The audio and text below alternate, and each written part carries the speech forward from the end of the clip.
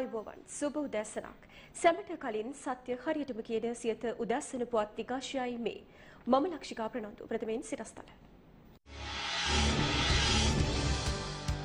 නවවන පාර්ලිමේන්තුවේ ප්‍රධාන තනතුරු හිමිවන්නේ කාටද? නම් කිහිපයක් දැනටම යෝජනාවෙයි. අපරාධ රැසක තොරතුරු අනාවරණය කළ හීරෝ බෙට්කා ඇල්වින් බම්බර් රෝසි ඇතුළු පොලිස් සුනකින් විසි පහක් වෙන්දේසි කරයි. ඩෙංගු යළි හිසෝසවයි. ගෙවුණු මාස අටට රෝගීන් විසි හතර දහස් අටසිය හතලිස් පහක්. ගත වූ දින පහළව තුළ රෝගීන් දෙසිය තිස්ස එකක්. ප්‍රථමයෙන් දේශීය පුවත් සමගී ජනබලවේගේ සහ ජාතික ජනබලවේගේ ජාතික ලැස්තු මන්ත්‍රීවරුන්ගේ නම් ඇතුළත් අති විශේෂ ගැසට් නිවේදනය ප්‍රකාශයට පත් කර තිබෙනවා. ඒ අනුව මන්ත්‍රීවරුන් අට දෙනෙකුගේ නම් ඊට ඇතුළත්. සමගී ජනබලවේගෙන් ඉදිරිපත් කළ ජාතික ලැස්තු මන්ත්‍රීවරුන් වන රංජිත් මද්දුම බණ්ඩාර, තිස්ස අත්තනායක, ඉමිතියස් බාකිරමාක, එරන් වික්‍රමරත්න, හරින් ප්‍රනාන්දු, මයන්ත දිසානායක සහ ඩයනා ගමගේ යන මහත්ම මහත්මීන්ගේ නම් මෙන්ම ජාතික ජනබලවේගෙන් ජාතික ලැස්තු මන්ත්‍රී දුරයට ඉදිරිපත් කළ ආචාර්ය හරිනි අමරසූරිය මහත්මියගේ නමද මෙලෙස ගැසට් කර තිබෙනවා. ශ්‍රී ලංකා පොදුජන පෙරමුණ ඉලංගේ තමිල් අරුසු පක්ෂය සහ අහිල ඉලංගේ තමිල් කොංග්‍රසයේ ඉදිරිපත් කළ මන්ත්‍රීවරුන්ට ගැසට් කර අවසන්. කෙසේ වෙතත් එක්සත් ජාතික පක්ෂය සහ අපේ ජනබල පක්ෂය තම ජාතික ලැයිස්තු මන්ත්‍රීදුරය සඳහා නම් කරන මන්ත්‍රීවරුන් පිළිබඳව මෙතෙක් නිල ප්‍රකාශයක් සිදු කර නැහැ. ජාතික ලැයිස්තු මන්ත්‍රීදුරයන් නම් කරවීම සඳහා මැතිවරණ කොමිසම ලබා දී තිබූ කාලයද අවසන් වුණා. මේ අතර අලුතින් තේරීපත් වූ මන්ත්‍රීවරුන්ගේ පෞද්ගලික තොරතුරු සහ දත්ත ඔන්ලයින් හෙවත් මාර්ගගත ක්‍රමය ඔස්සේ ලබා දීමට මන්ත්‍රීවරුන් දැඩි උද්‍යෝගයකින් කටයුතු කරන බව පාර්ලිමේන්තු මහලේකම් ධම්මික දසනායක මහතා අප කළ විමසීමකදී ප්‍රකාශ කළා. මේ වන විට මන්ත්‍රීවරුන් 190කට වැඩි පිරිසක් තම පෞද්ගලික තොරතුරු තොරතුරු ලබා දී ඇති බවයි ඒ මහතා වැඩිදුරටත් ප්‍රකාශ කළේ. පාර්ලිමේන්තුවේ සභානායක දුරේ යළිත් වතාවක් විදේශ අමාත්‍ය දිනේෂ් ගුණවර්ධන මහතාට ලබා දීම සම්බන්ධයෙන් යෝජනා වී ඇති බවට තොරතුරු වාර්තා වනවා. ආණ්ඩු පක්ෂයේ ප්‍රධාන සංවිධායක දුරේ මහාමාර්ග අමාත්‍ය ජොන්ස්ටන් ප්‍රනන්දු මහතාට ලබා දීම සම්බන්ධයෙන්ද අවධානය යොමු වී ඇති අතර මීට පෙරද ඔවුන් එම තනතුරුවල කටයුතු කළා. කෙසේ වෙතත් මෙම පත්වීම් සම්බන්ධයෙන් මෙතෙක් අවසන් තීරණයක් ගෙන නැහැ. මේ අතර විපක්ෂයේ ප්‍රධාන සංවිධායක දුරේ සඳහා සමගි ජනබලවේගයෙන් හතර දිනෙකුගේ නම් යෝජනා වී තිබෙනවා. පාර්ලිමේන්තු මන්ත්‍රීවරුන් වන කබීර් හෂීම් ලක්ෂ්මන් කිරියල්ල පාටලි චම්පික රණවක සහ ආචාර්ය හර්ෂද සිල්වා යන මහත්වරුන් ඒ සඳහා යෝජනා වී ඇති බවටයි තොරතුරු වාර්තා වන්නේ. මේ අතර නව කතානායකවරයා ලෙස පාර්ලිමේන්තු මන්ත්‍රී මහින්ද අපා අබේවර්ධන මහතා පත්වනු ඇති බවටද දේශපාලන ආරංචි මාර්ග සඳහන් කර තිබෙනවා. ආර්ථික සහ සමාජීය වශයෙන් රට තුළ විශාල පරිවර්තනයක් සිදු කිරීමට වත්මන් රජය කටයුතු කරන බව වැවිලි අමාත්‍ය රමේෂ් පතිරණ මහතා පවසනවා. ඒ ගාල්ල ප්‍රදේශයේදී මාධ්‍ය වෙත අදහස් දක්වමින්. රටේ අනාගත අභිවෘද්ධිය වෙනුවෙන් අවශ්‍ය සැලසුම් සියල්ලම ප්‍රධාන ශේෂ්ත්‍රයන් සියල්ල ආවරණය වෙන පරිදි සකස් කොට තිබෙනවා. ඒ නිසා විශ්වාස කරනවා ඉදිරි වසර පහක කාලය තුළ මේ රටේ සාධනීය සමාජ පරිවර්තන යුගයක් ඇති කරන්නට ගෝඨාභය ජනාධිපතිතුමා ගෙන යන වැඩපිළිවෙලට රුවග්‍රාමාත්තුමාගේ රාජ්‍යයේ සම්පූර්ණ සහයෝගය ලැබෙනවා. ජනතාවගේ ප්‍රධාන අවශ්‍යතාවය වුණේ රටේ ආරක්ෂාව සලසා ගැනීමයි ජනාධිපතිවරණයේදී. ඒ ආරක්ෂාවේ සහතික ජනාධිපතිතුමා ලබා දීලා තිබෙනවා. ඉන්පසු ඇතිවෙච්ච කොරෝනා අර්බුදය හමුවේදී රටේ ජනතාවගේ ජීවිත ආරක්ෂා කරන්න ලෝකේ රටවල් අතරින් පෙරමුණ ඉඳගෙන ජනාධිපතිතුමාගේ රාජ්‍යය කටයුතු කළා. ඉන්පසු ඇතිවන ආර්ථික අභිවෘද්ධිය පිළිබඳව අයවැය ඉදිරිපත් කිරීමෙන් පසුව බොහොම පැහැදිලිවම අපේ සැලසුම් සකස් කොට තිබෙනවා. ලෝකයේ අනෙකුත් රටවල් කොරෝනා අර්බුදයෙන් නැවත නැගිසින්නට පෙර අපිට විශාල විශ්වාසයක් තිබෙනවා ශ්‍රී ලංකාව නැවත ආර්ථික සමාජීය වශයෙන් විශාල පරිවර්තනයක් සහිතව නගා සිටවන්න පුළුවන් මේ කියන කාරණේ පිළිබඳව. මම විශ්වාස කරනවා පාර්ලිමේන්තුවේ සිටින සුළු පිරිසක්වත් විරුද්ධ පක්ෂයේ හැටියට සාධනීය ලෙස ඔවුන්ගේ කටයුතු සිදු කරයි. රජය පිළිබඳ යම් සාධනීය විවේචනයක් තිබෙනවා නම් නිවැරදි මකට ගන්නට ඔවුන් උදව් කරයි. ඒ වගේම අපි ගෙනියන සමාජ සංවර්ධන වැඩසටහනට ඔවුන් පක්ෂ භේදයෙන් තොරව අත දීලා කටයුතු කරයි කියලා විශ්වාස කරනවා. දහනව වන ආණ්ඩුක්‍රම ව්‍යවස්ථාව සංශෝධනය කිරීමට සහ මෙරට මැතිවරණ ක්‍රමය වෙනස් කිරීමට නව ව්‍යවස්ථාවක් සම්පාදනය කළ යුතු බව ජල සම්පාදන අමාත්‍ය වාසුදේව නානායක්කාර මහතා පවසනවා. ඒ රත්නපුර ප්‍රදේශයේදී මාධ්‍ය වෙත අදහස් දක්වමින්.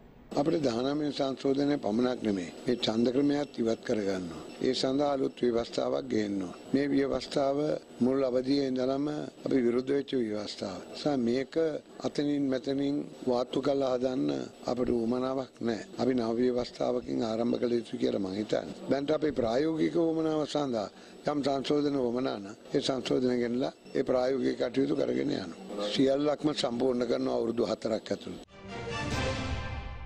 මහනුවර පොලිස් නිලසුනක මුලස්ථානයේදී වෙන්දේසියක් පැවැත්වුණා. ඒ පොලිස් නිලසුනකින් 25 දෙනෙකු වෙන්දේසි කිරීම සඳහායි. මෙම වෙන්දේසියෙන් පොලිස් දෙපාර්තමේන්තුවට රුපියල් 3,15800ක පමණ මුදලක් උපයා ගැනීමට හැකි වී තිබෙනවා. ශ්‍රී ලංකා පොලිසිය නිලසුන කංශය විසින් මෙම වෙන්දේසිය සඳහා ඉදිරිපත් කර තිබුණේ වයස අවුරුදු 10ක් පමණ වූ සුනකයින්.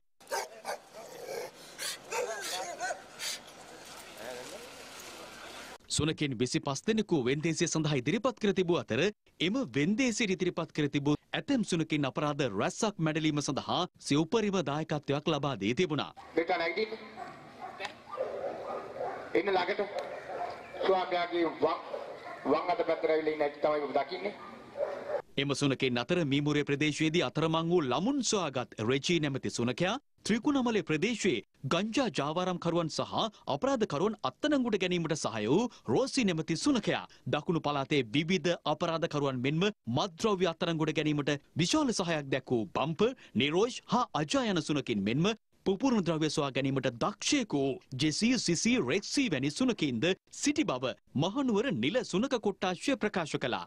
මෙම වෙන්දේසේදී පොලිස් නිල සුනකින් මිලදී ගැනීමට ජනතාව අතර මහත් උනන්දුවක් පැවති අතර රුපියල් දසදහසේ සිට රුපියල් ලක්ෂයේ ඉක්ම වූ මුදලක් දක්වා එම සුනකයින් අලවි වී තිබෙනවා. රුපියල් රුපියල් 15000 අවරයි.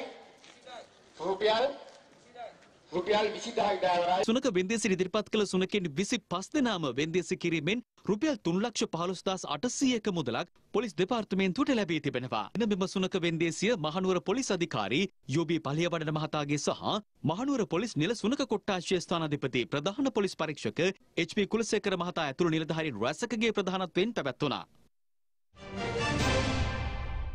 ඩෙංගු වෛරසය යළිත් රට තුළ හිස එසවීමේ අවධානමක් මතුව තිබෙනවා. මේ හේතුවෙන් ඩෙංගු මදුරුවන් බෝවන ස්ථාන විනාශ කර ඔබේ නිවස සහ එයාවට පරිසරය පිරිසිදු කිරීමට කටයුතු කරන ලෙසයි සෞඛ්‍යංශ දැනුම් දෙන්නේ.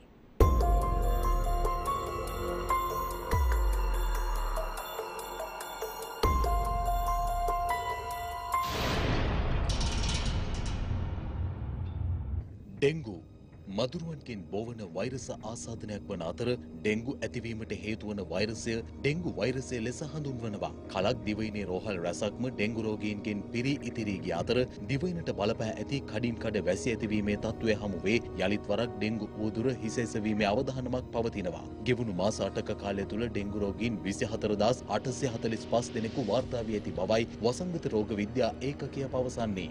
ජනවාරි මාස පමණක් ඩෙංගු රෝගීන් 11607 දෙනෙකු වාර්තා වී ඇති අතර එම රෝගීන් සංඛ්‍යාව මෙතෙක් මාසකදී වාර්තා වූ වැඩිම රෝගීන් සංඛ්‍යාව වන බවයි වසංගත රෝග විද්‍යා ඒකකය වැඩිදුරටත් පවසන්නේ. වැඩිම ඩෙංගු රෝගීන් පිරිසක් වාර්තා වී ඇත්තේ කොළඹ හා තදාසන්න ප්‍රදේශයන්හි වන අතර මෙම මාසදී පමණක් මේ වන විට වාර්තා වී ඇති ඩෙංගු රෝගීන් සංඛ්‍යාව 231ක්. ලෝක සෞඛ්‍ය සංවිධානයට අනුව වසරකට ලොව පුරා මිලියන 400කට අධික පිරිසක් ඩෙංගු වෛරසයට ගොදුරු වන අතර ඉන් මිලියන 96කට ආසන්න පිරිසක් ඩෙංගු අවදානම් තත්ත්වයන්ට මුහුණ පානු ලබනවා. රටවල් එකසිය විසි නවයක් පුරා මෙම ඩෙංගු අවධානම් තත්ත්වය පවතින අතර ඩෙංගු වෛරසයෙන් වැඩිම බලපෑමක් එල්ල වී ඇත්තේ ආසියානු කලාප වෙතයි. කෙසේ වෙතත් මේ වන විට ලෝක ජනගහනයෙන් හරියඩක් පමණ ඩෙංගු වෛරසයට ගොදුරුවීමේ අවධානමක් පවතින බවට ලෝක සෞඛ්‍ය සංවිධානය අනතුරු හඟවනවා. උදැසන පුවත් විකාශය අවසන්. තවත් උණුසුම් පුවත් දැනගැනීමට පිවිසෙන්නේ ලංකාවේ අංක එකේ සිංහල වෙබ් අඩවිය www.siyanews.lk e අපගේ වෙබ් අඩවියට. යළිත් හමුවෙමු මධ්‍යහන පුවත් විකාශයත් සමගින්. සුබ දවසක්. දිනපතා අලුත් වීඩියෝ සහ ප්‍රවෘත්ති නැරඹීමට ඉහත බටන එක ක්ලික් කර සියත TV සබස්ක්‍රයිබ් කරන්න.